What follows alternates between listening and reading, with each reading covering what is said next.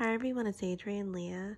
I wanted to show my progress on the Hiedra Mitts by Fiber Fibertails. I'm using the Malabrigo Rios in Cocoa. I finished one mitt and I'm going to start the one by one ribbing on the second one.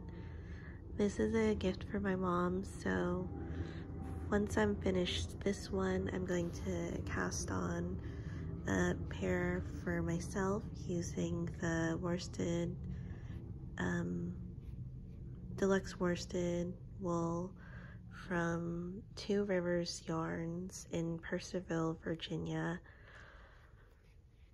I'm happy that the owner caked the ones that I bought, so I have two skeins of these and I wanted to make a cowl to go with my mitts. I also got a Lantern Moon project bag there.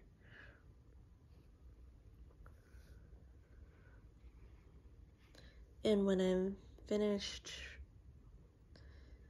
my pair, I was planning on making another gift, so I'm going to use the, or I'm planning on using the Malabrigo Rios in glitter.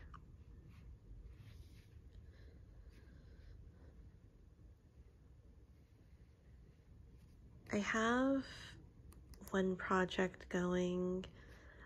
I am going to get more yarn for that one at some point, but in between I wanted to start a cowl that I have loved for the past couple of years that I've seen it. It's a pattern on Ravelry and it's called Rind. It's a German word that translates to tree bark and when I saw the colorway, it's the Malabrigo Rios in Piedras. I love the color and I started getting different skeins of the Malabrigo collection. So I got one a while back and I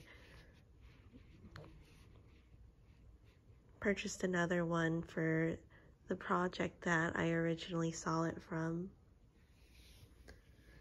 So I'm excited to start that. And going back to Two Rivers Yarns, I got two pairs of earrings. One of them I think is amazing. So it's the pair that has the spinning wheel. So I think that they're unique and I plan on wearing them. So thank you guys so much for watching. I hope this was helpful and I'll see you or interesting and I'll see you in another video.